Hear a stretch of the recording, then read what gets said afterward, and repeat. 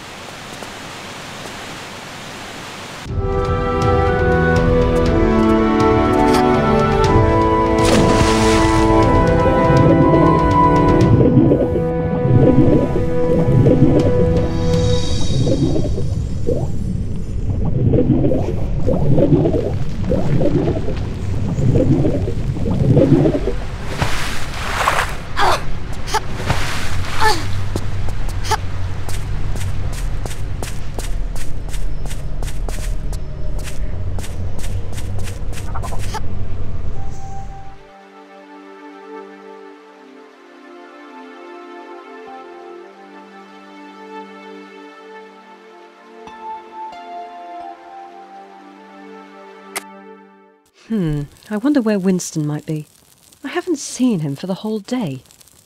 Oh, bloody hell! Did I forget him?